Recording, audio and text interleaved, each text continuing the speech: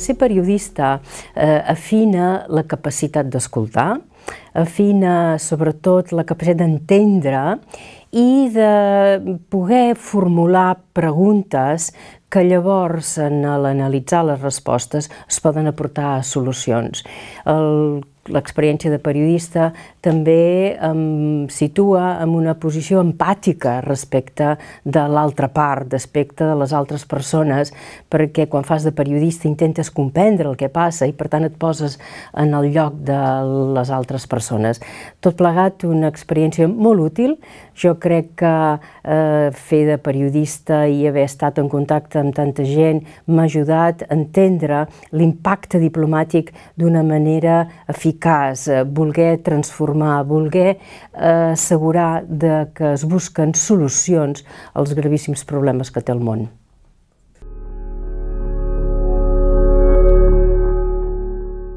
Doncs han fallat moltes coses, però sobretot per a mi el que ha fallat és comprendre que aquestes transformacions dictatorials del president Putin, que anàvem veient però que no les veiem en la seva magnitud, realment tenien un objectiu i era sobretot evitar que es, es desenvolupés un país democràtic, un país obert, un país acostat a Europa, a les fronteres de Rússia, com és el cas d'Ucraïna. Crec que no vàrem saber valorar exactament aquesta intenció del president Putin de restablir a poc a poc un domini en un terreny, en un territori que abans era la Unió Soviètica i fer-ho eh, amb la força. Ens pensàvem que ho feia a través de crear aquestes estructures de la comunitat d'estats independents, on els països de l'antiga òrbita soviètica s'hi trobaven i també tenen intercanvis econòmics, però sobretot pressió política.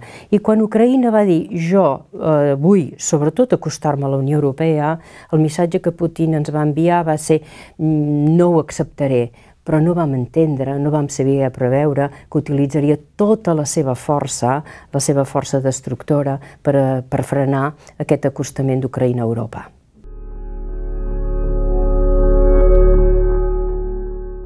sí que es nota un afabliment de les organitzacions internacionals i es nota en part perquè eh, els estats també eh, deixen als organismes internacionals un determinat espai. I a més a més, amb tot aquest procés de globalització en el qual hi ha les companyies transaccionals que són tan poderoses, eh, el que és l'arquitectura eh, global de seguretat, política, les Nacions Unides o els organismes més regionals, com ara la Unió Europea, doncs eh, sí que han de lluitar. I en el fons els organismes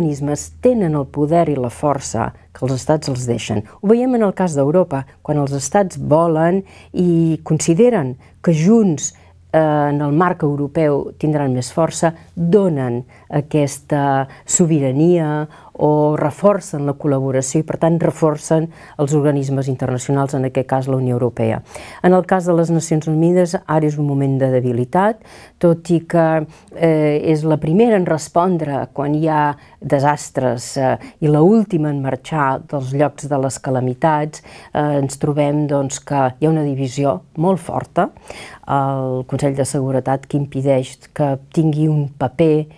important, decisiu a l'hora de gestionar els conflictes i la pau i la seguretat. I en general, els nous organismes com el G7, el G20, eh, són forts quan els països que hi participen donen energia i acorden projectes comuns. Ara veiem el G7 està unit entorn de, de fer front a Putin, però el G20 està dividit perquè jo crec que, a més a més, 10 i 10. Hi ha 10 països molt occidentals, eh, liberals, democràcies social, de, socialdemòcrates o, o,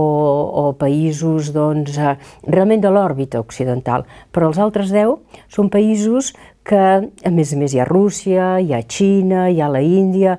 que no estan per donar força al G20. Per tant, sí, és un moment on eh, la debilitat eh, dels organismes internacionals és clara i la nostra responsabilitat és tenir-ho ben present i fer el possible perquè no sigui així.